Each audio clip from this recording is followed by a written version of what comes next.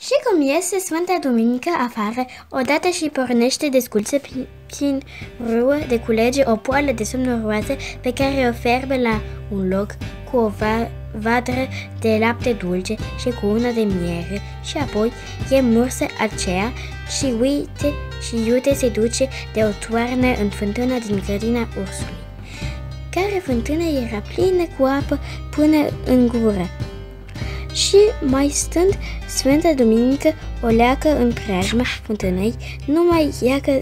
ce vede că vine ursul cu o falcă în cercui și cu una în pământ, mărneni înfricoșați. Și cum ajunge la fântână, cum începe a bea la cum. La apă și a și linge buzele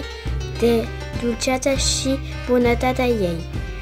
Și mai sta din băut și iar începe a mornăi și iar mai bea